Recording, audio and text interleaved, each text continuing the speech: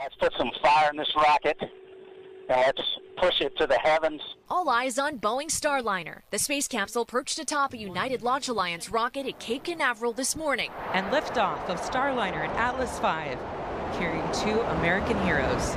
Blazing into the skies with a crew on board for the first time. Stars for all of us. Veteran astronauts Butch Wilmore and Suni Williams on a mission to the International Space Station. Celebrations as Starliner and its crew reached orbit, on track to dock with the ISS tomorrow. When we expand our fleet of spacecraft, what we're doing is expanding our reach to the stars. After NASA's decision to partner with private companies to take crews to the International Space Station, this milestone moment coming after years of delays.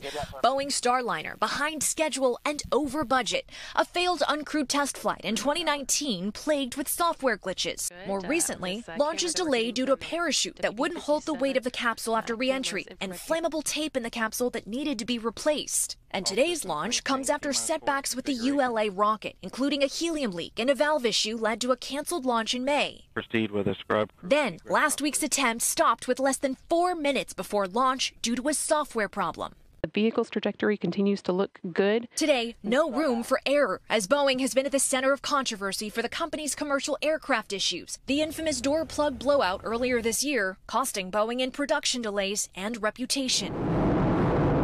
But tonight, a congratulations from Elon Musk, founder and CEO of rival SpaceX, which has been NASA's main way to send astronauts to the ISS for the last four years.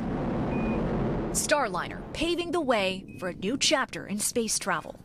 And Marissa, where does today's launch put the competition among private companies in the space industry? Well, Lester, SpaceX is still far ahead. Its mega rocket Starship set for launch from Texas tomorrow morning. Its fourth uncrewed test for NASA's overall mission to return astronauts to the moon.